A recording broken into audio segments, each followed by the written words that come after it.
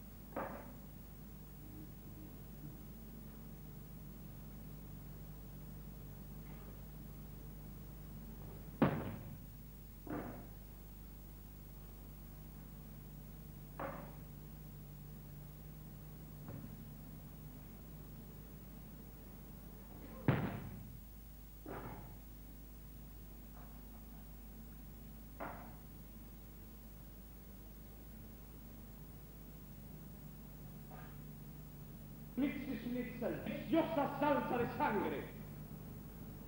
Para preparar la pechuga, coloque la gallina sobre el lomo.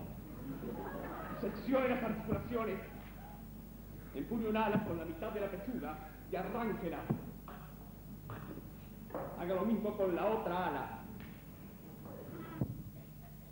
Despelléjela. Machaque las alitas. Aplástela a freír con panceta ahumada cortada en latón y un puñado de orégano.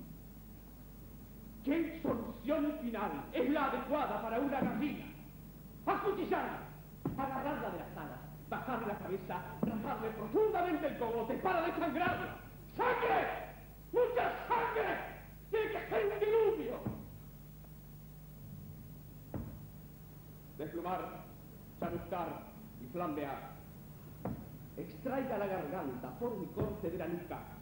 Luego separe las entrañas, metiéndole un dedo dentro y haciéndolo girar de derecha a izquierda. Dele vuelta a la gallina. Trae un cuchillo en la rabadilla vaya sin miedo. Abra el vientre, extraiga el corazón, el hígado, la molleja, la hiel. Con la hiel. La hiel es un error. Separe la hiel cositas verdes. Abra la molleja, corte las patas de la chaza, arranque los ojos, arranque el pico, nuevamente sobre el lomo, aplaste los muslos, enhebre una aguja larga con violín de cáñamo blanco y fino, perfore el costado derecho, haga pasar la aguja a través izquierda, haga un nudo apretado, encaje el muslo izquierdo debajo del pecho, fuércelos hacia la rabadilla, perfore, cosa, hace.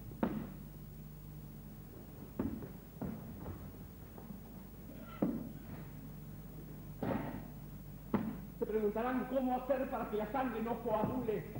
Mantenga la carcasa agarrada por las patas para que la sangre chorree de la herida sobre un platito. Ponga vinagre y no coagula más. Después, a la cacerola.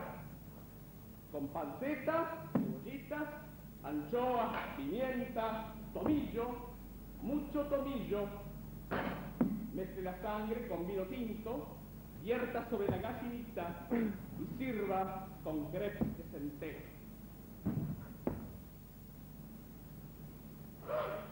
¡Es lo único que hago! ¡Es obedecer órdenes!